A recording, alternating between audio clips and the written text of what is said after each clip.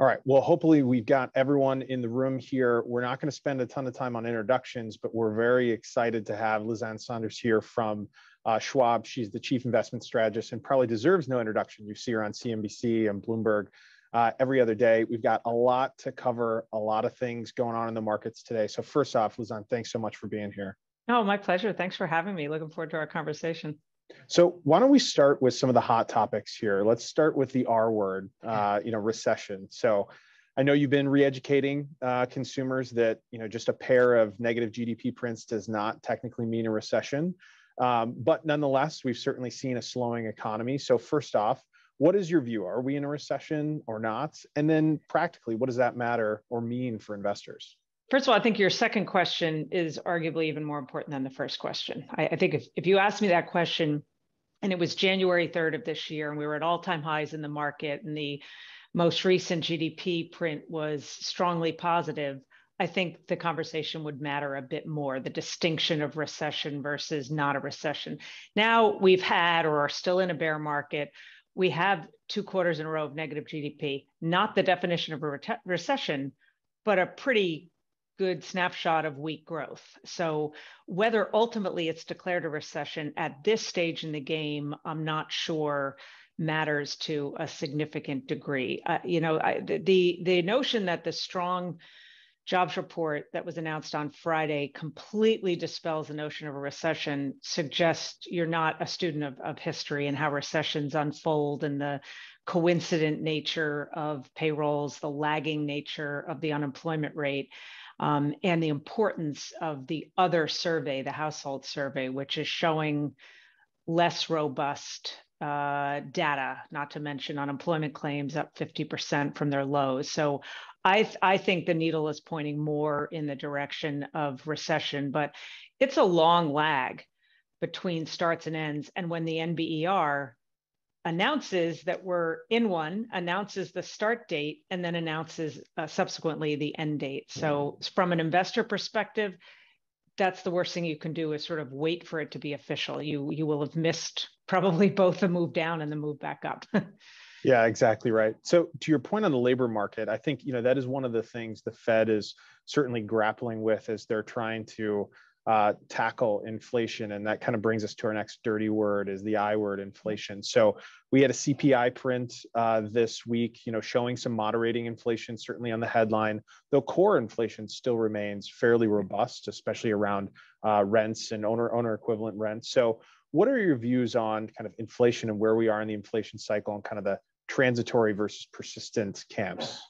So, you know, transitory, I'm, I'm, sure the Fed every day regrets the utilization of that word and putting it in print in the, the statements. But the reality is, if you look up, I don't know, the Oxford Dictionary definition of transitory, it's a really simple definition of not permanent. So, even the Fed could go back at some point probably and say, well, it was transitory. It's just the, the span of time was a bit longer than, than we or anybody else thought at the time. We are starting to see um, a, a, little bit of a move uh, down or at least a, a, a peak. But I think important is not so much headline versus core. More important is goods versus services, because it was the goods side of the economy that was both the boom from a demand standpoint and sowed the seeds of the inflation problem we have now because it was coupled with the absence of supply because of supply chain disruptions. All of that was heavily concentrated on the goods side, and we are seeing relief uh, there. However, I think the the cheering of yes, inflation has peaked. This means the Fed can take their foot off the brake. I think there's too much complacency around that. The Fed has been really clear. Pretty much every member, every talking head has said it's not just about a peak and a tick down. Powell has used the term series. He wants to see a series of lower readings. Loretta Mester has used several months.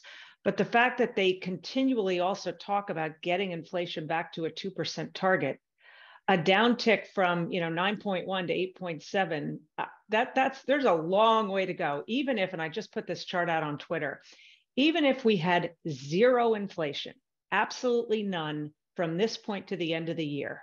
Highly unlikely, but let's just say there was none. On a year over year basis, by year end, inflation would be down to 3%. if we go to kind of pre-COVID uh, or even post-COVID trends, it, it's only down to about six percent. So the Fed may be able to move away from being as aggressive as they have been with 75 basis point hikes, but this notion that they can quickly just pull their foot completely off the brake, and if by pivot you think that means shift to rate cuts, I think we're still a long way uh, off. I, I, think we have work to do, not to mention the fact that some of where inflation has been higher are the what they call the stickier components, like the shelter components, owner's equivalent rent, rent of primary residence, some of the food related inflation. And uh, so I think there's going to be offsets to some of the areas where we are likely to see disinflation um, in many cases, which has already kicked in. Yeah, it's it's easy to forget. It's not just the rate of change of inflation, but inflation is also a level, right? So your point on coming back down, there's a real long way between eight, seven, and two. Yep. But you know, I know we've talked uh, and you've talked in the past about kind of uh, analogous or allegory periods in history of which you know the Fed is largely using kind of the 70s, 80s Volcker playbook on fighting inflation. Yep. But entering into this cycle, you know, we were really coming into this in a minimum inflation, minimum volatility, minimum yield, and maximum accommodation through fiscal and monetary policies. So, as the punch bowl is pulled back on a lot of those, um, are there analogous periods in history of which we could look to, you know, hopefully read tea leaves? And what does that mean, do you think, for investors around kind of now the shift into QT, now the shift into, you know, less accommodative policies? So I think there are an, analogous eras, and I think the 70s into the early 80s is probably one, except I think there are um, quite a few really important differences uh, in terms of the 1970s versus the current environment. Um, globalization, the nature of globalization, demographics looked a lot different. The the bias in the economy toward the manufacturing side versus the consumer side, the uh, greater unionization and the, the bargaining power that that labor had. So it's not it, it's not a it, it's not a pure match to what's going on in the 1970s. Uh, and I don't think ultimately the Fed is going to have to pull out truly the, the Volcker playbook and um, you know bring interest rates up into double digit uh, territory. Um, there's also um, there's similarities to the post World War II period of time in terms of what represented it was a sort of a wartime which the pandemic you could argue was sort of a healthcare version of, of wartime. And then what came out of that in terms of the surge in demand and where stimulus was and trying to match that demand. So I, I do think, though, that the the era of um, disinflation, the Great Moderation period, really the 20 years that predated the pandemic, I don't think we're going back to that environment. I think the environment we're in is one where inflation, even when the plane lands, is at a higher elevation in general. I also think there we're in a period now where there's likely to be more economic volatility. And what characterized the period really from the 60s, 70s, and 80s was more economic volatility, shorter cycles, meaning more recessions, but maybe also importantly, greater growth spurts coming out of those recessions. The Great Moderation also saw a moderation in economic growth where we just didn't have that. The last expansion pre COVID was the longest in history. That's great but it was also the weakest by far in history. Not so great. So I think more volatility, but bigger moves on the uh, upside. And I think one proxy for that would be the relationship between bond yields and stock prices. For 30 years, uh, we had up until around the mid 1990s, bond yields and stock prices were inversely correlated. Um, it made diversification a little trickier. Then, for the 20 years pre COVID, they were positively correlated because we didn't have an inflation problem. So when yields were going up, it was typically a signal of stronger growth without inflation risk. That's a great backdrop for the equity market.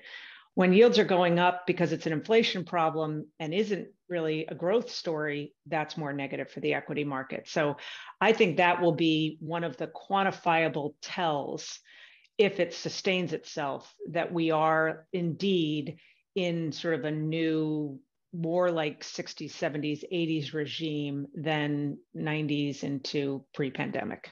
Yeah. And speaking of shifting regimes, you know, there's been a lot of geopolitical headlines, certainly uh, late out of China. But if we kind of step back and we think about the area of uh, the era of which you just mentioned, kind of globalization, seeking low-cost producers globally, offshoring.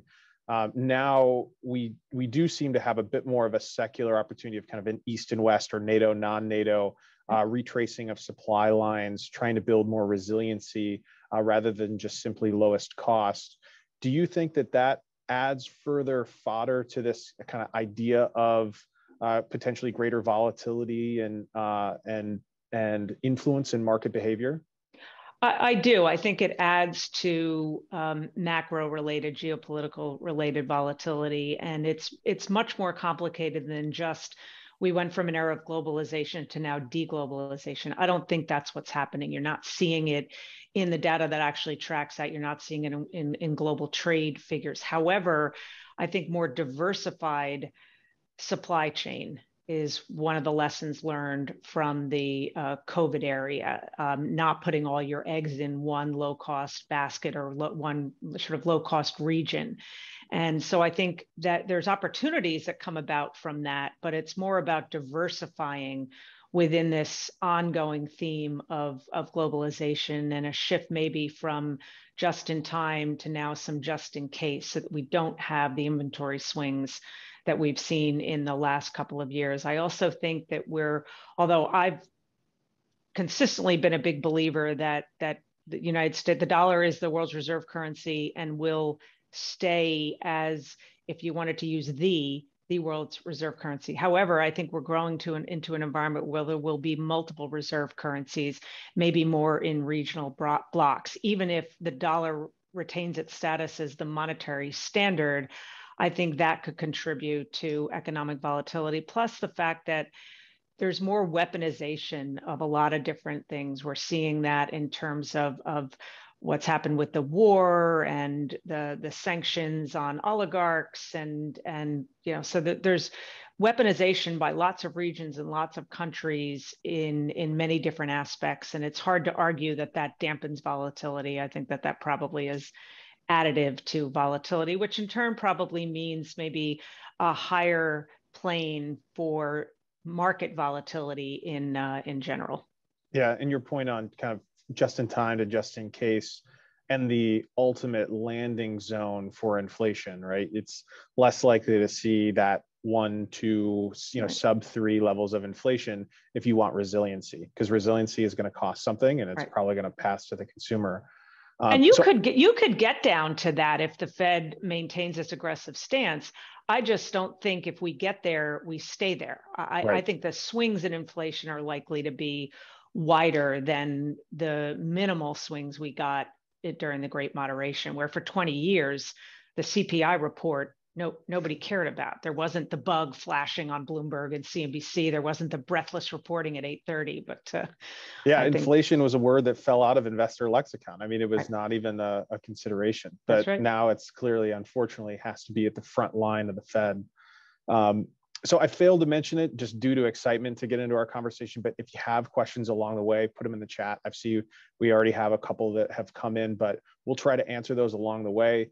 Um, just put them in the chat queue and we'll we'll address them as we go. So Liz Ann, let's shift a little bit uh, kind of from the 50,000 foot level on kind of markets, economies, and talk a little bit more uh, specifically, maybe about earnings in particular.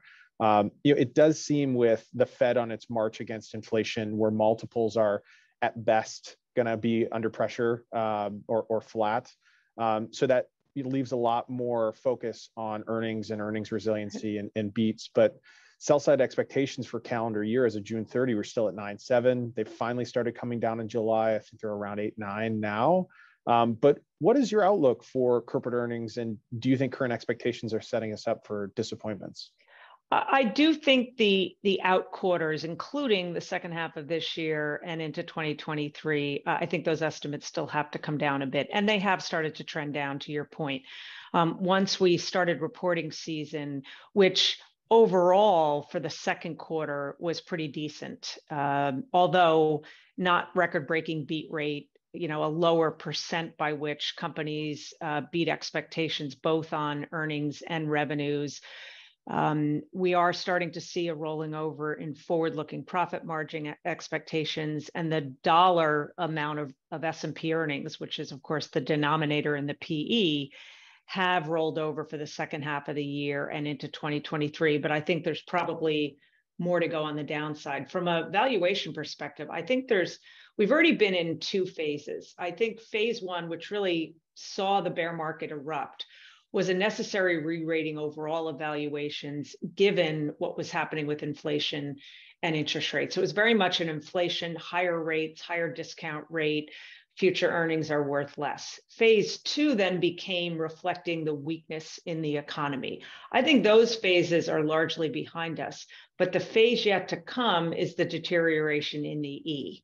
And then you have to bring back in the macro environment of where are rates going, where is inflation going, to ultimately figure out okay, what's what's called fair value, given that we now have the E moving potentially in the opposite direction of the way it's been moving for the past couple of, of years. So I don't think we're out of the woods yet in terms of, of whatever we settle down to from a multiple perspective. The market's a lot less expensive than it was two years ago, but uh, certainly is not screaming, uh, this is a cheap market historically. Sure. And that's a perfect transition into kind of the, the recent rhetoric around are we in a bear market rally? Um, I think Jefferies actually had a great note out recently on kind of the the move since mid June. It's a two standard deviation for uh, for uh, week move where that's happened 17 times over the last 32 years. And when it's uh, followed by kind of a, a, weak market preceding it, the probability of it being kind of a bear market rally is far higher. So, what are your views on kind of as you set up those three conditions and the E is next to come? Uh, you know, is this a head fake or could this be more sustainable? So I don't, I, I don't make it a habit of trying to precisely time market bottoms and tops. I think that's a fool's errand, and I'm not sure that messaging is of great value, especially to individual in, investors. I think there's disciplines that come into play more than trying to pick tops and bottoms. That's just sort of gambling on moments in time. But to to put on my sort of technicians internals cap on. Um, this rally has had uh, significantly better breadth statistics than the couple uh, bear market rallies that preceded it. Those, to me, at that time looked very obviously like bear market rallies. This one has looked a bit healthier. However, some of the drivers of it have been way down the quality spectrum. So we're seeing that speculation kick back in, especially among retail traders. And you've seen a massive surge in the meme stocks and the non profitable areas and the heavily shorted stocks um, sometimes that's a message of a coming pickup in the economy.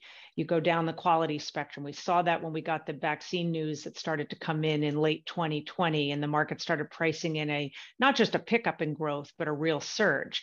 That's when you want to go into the lower quality because that's where the leverage is. I think, again, to use a trader's term, I think you want to fade, so to speak, the low quality stuff and more lean into the higher quality stuff. Time will tell whether this is a sign of a new bull market. Uh, if you're using simple 20% definitions, the NASDAQ's in a new bull market because it's up 20% from the low, but that happened several times between 2000 and 2002, and they were fake outs, as we know with the benefit of hindsight. S&P is still not only below its 200-day moving average, but that average is still moving down.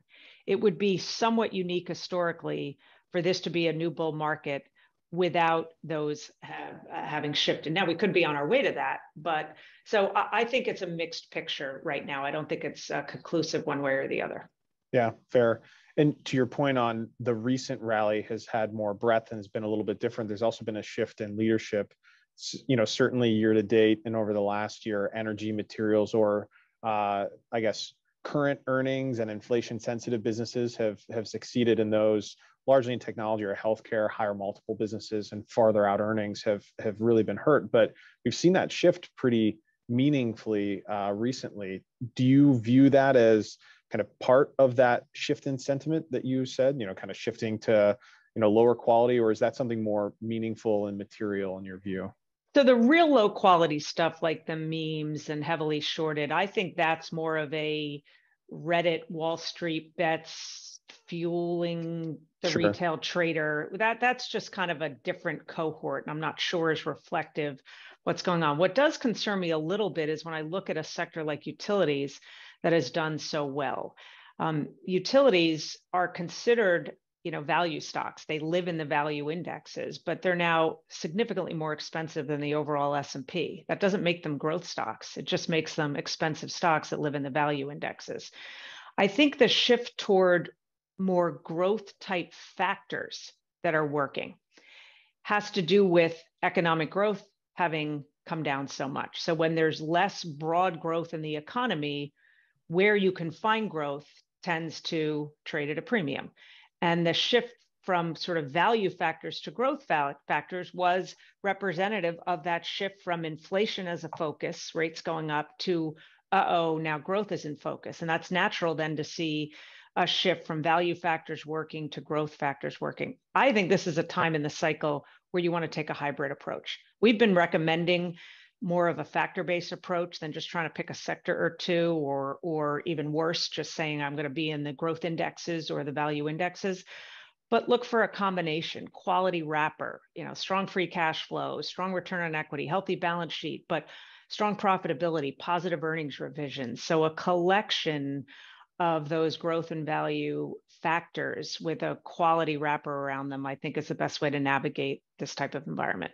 And to your point on some of the rudimentary indices, right? I think those investors that are following that approach, you know, maybe a word of warning in the reconstitution that happened, you know, a lot of shift actually meta, you know, Facebook is it's now a value stock, interestingly enough. So or or the shift doesn't happen. Like I said, right. just because utilities are expensive doesn't mean Russell moves them into the growth indexes they're they're not growth stocks. They're just expensive stocks that live in the value indexes.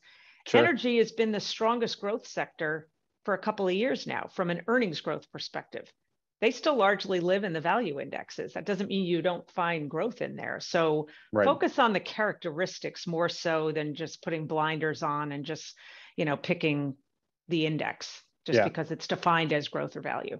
Sure, fair enough we've gotten a lot of questions kind of zooming back out on um, geopolitical and uh, other tensions globally in the chat queue. So maybe I'll, I'll wrap some of those together to try to address a lot of those. So one of them is just related to Russia.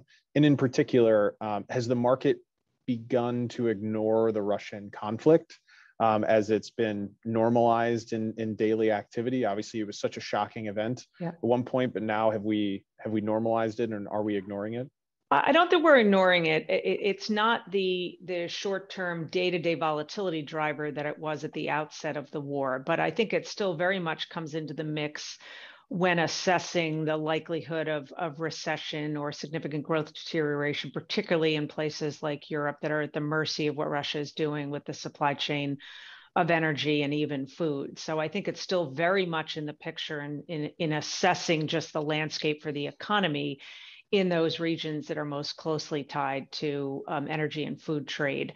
But the day to day market can swing on either an you know a heating Missile up of escalations or, yeah. or, some sign that you know they're meeting to potentially negotiate some sort of uh, ceasefire. Yeah i think that that's not a that, that's not a needle mover right now but it's uh, it, it hasn't disappeared as an important force. Maybe tying your comments on food to other geopolitical instability we got a question on kind of sri lanka and pakistan um, and kind of looming em concerns. Are there structural concerns, and especially in some of these emerging markets with maybe greater or few, uh, less disposable income, where food becomes yeah. a very regressive tax. Do you view that as kind of a, a thread to pull on throughout, or are some of these like Sri Lanka? All uh, you have to do event? is look at history of famines and food shortages and and see how they can turn into much bigger um, geopolitical crises within those regions, not to mention what has been until very recently extraordinary strength in, in the dollar and the impact that that has on, on emerging market reserves. Now, I would also, though, say I don't think we can generalize or look at emerging markets in a monolithic way. A lot of it depends on are you on the production side of commodities, are you on the consumption side of commodities? Either way, which commodities, what are your trade ties, what's your reserve situation? So I think that it, certainly in emerging markets, it requires more of an, a, an active approach in understanding the internal dynamics of, of each region. But do I expect more volatility and more disruption and more um, you know, masses rise up against the establishment, uh, yeah, I, I think we're probably just seeing some of the beginning of that. Then I, our, our kind of final question in the queue around this geopolitical side, and, and perhaps maybe tied to food or food instability, is just around population growth and long term. And we see a lot of countries, including here in the US, but Japan, China, and others, um, with slowing or low population growth. Yeah. What do you think that that does to kind of those long-term investors trying to reconcile kind of some of those big long-term arcing concerns and and more current opportunity? So I think it probably means that debt levels aren't going down anytime soon because of the necessity of government funding of the aging population and everybody's structure is a, a bit different but it's certainly one of the reasons why there's ongoing debates of, of how we deal with, with social security and medicare and unfunded entitlements here and it'd be a different story if our population trajectory was much healthier. That said relative to a a good chunk of the rest of the world, the United States doesn't look so bad. In a place like China, um, the the breakdown from an age bracket perspective and a gender perspective is pretty dire. And in fact, I think that alone is reason to believe that China is not going to do something like invade Taiwan, um, for the simple reason that they can't afford to lose a lot of their prime age males um, in a war. Uh, that doesn't mean they're not going to uh, approach this as an economic war and, and do whatever they're going to do relative to Taiwan, relative to the US. But I think an actual military war is unlikely, in large part due to the unique demographics. And then you've got opportunities that come in places like parts of the Middle East, more more importantly, maybe in Africa, where their demographics are in great shape and may really provide an opportunity in terms of, of global trends for for investment for creativity. So it, it's not all a, a negative story but it's just a it's it's a changing story certainly from the 1970s when one of what the reasons why we fueled the inflation that we had was because we had massive population growth, a massive influx of people into kind of prime age uh, working years. Clearly not the case now, and different drivers of inflation now than then. Fair. So, looking at the clock here, uh, maybe kind of final thoughts on volatile markets, volatile time, lots of headlines. What would be your main takeaway for investors here, and just the best ways to successfully navigate a market like this? Um, understand that um, you know, investing should be a disciplined process over time, should never be about moments in time. The, the whole notion of one of the most popular questions I get from the media, especially when markets are more volatile, is okay, Liz Ann, are you telling your investors to get in or get out? Um, neither get in nor get out is an investing strategy. That's just, again, gambling on a moment in time, and investing should always be a disciplined process over time.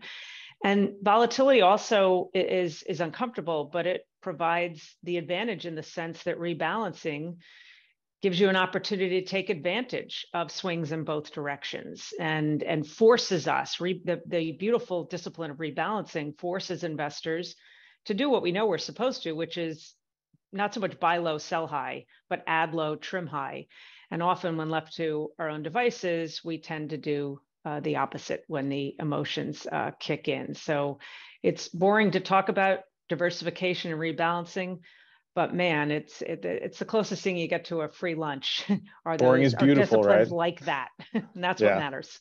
Exactly. Well, Liz Ann, we're at the top of the half hour. Thank you so much. We My really pleasure. appreciate your time and insights. Um, and as always, you know, we, we really value our partnership with you. So thank you so much. My if there pleasure. are any questions left over, please feel free to reach out to us here at Fiducient. We're happy to uh, either circle with Liz Ann or get back to you directly. So thanks so much for joining us and have a great rest of the week.